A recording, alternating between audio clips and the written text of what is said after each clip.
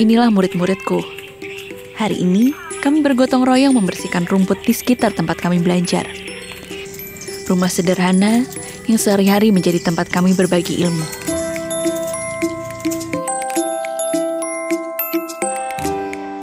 Perkenalkan, namaku Abigail Semiranteanan.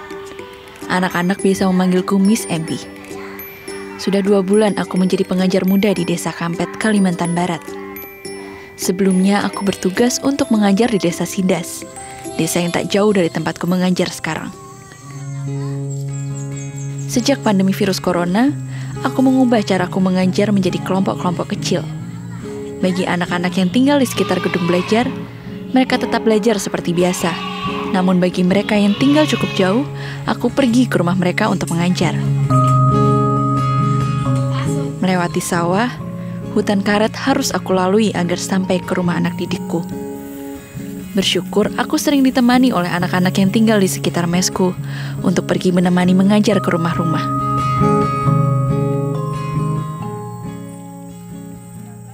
Selamat siang, saya hari ini akan mengunjungi anak-anak di Desa Baban yang biasanya datang ke center untuk belajar yang jaraknya kira-kira satu kilometer. Hari ini saya bersama dengan anak-anak dari dari Kampet.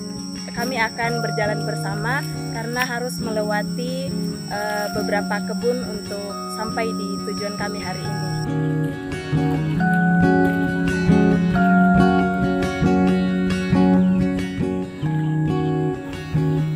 Harapanku, anak-anak yang aku bimbing bisa mengejar setiap ketertinggalan mereka. Meski di tempat yang jauh dari kota, Kiranya pendidikan yang mereka raih bisa bersaing hingga ke jenjang yang lebih tinggi lagi.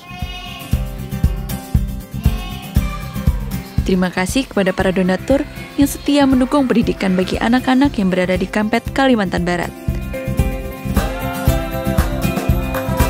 Helping people live a better life.